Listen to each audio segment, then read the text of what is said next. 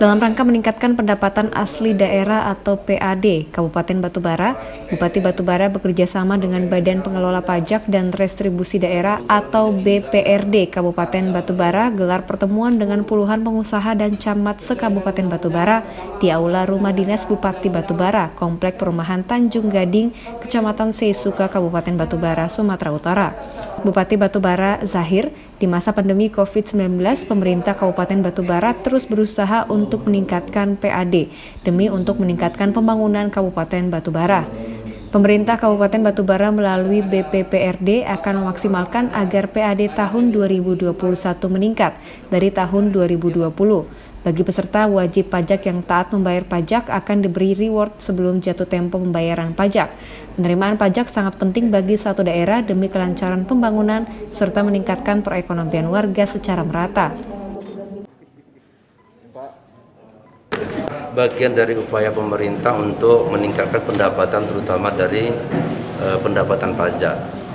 Hari ini kita mengundang para stakeholder, para pengusaha yang ada di Eh, lingkungan batubara untuk menyerahkan STT PBB ya. kemudian dengan DHKP-nya sehingga e, mereka tahu bahwa tahun ini ada target pajak yang e, mereka harus penuhi dan e, sudah berapa yang sudah terpenuhi oleh e, wajib pajak di tahun yang lalu. Kita juga memberikan reward and punishment bagi para Eh, pelaku usaha terhadap kepatuhan uh, pembayaran pajak itu sehingga uh, target tahun ini kita inginkan melebihi daripada target yang telah kita tetapkan dalam APBD Kabupaten Batubara tahun 2021. Kepala Badan Pengelola Restribusi Daerah BPPRD Kabupaten Batubara, Rijali, mengatakan pada tahun 2021 Pemkap Batubara menargetkan PAD harus meningkat. Pada tahun 2020 PAD Batubara berkisar 20 miliar dan pada tahun 2021 harus dapat 29 miliar.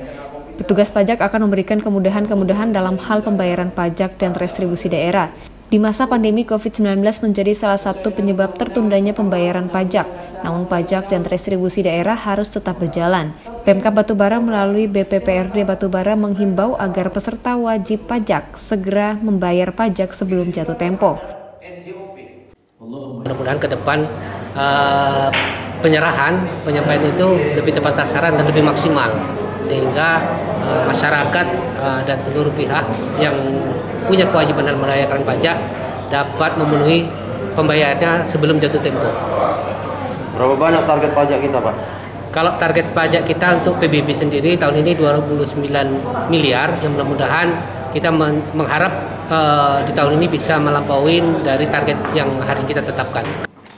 Dari Batubara, Sumatera Utara, Soleh Pelka melaporkan.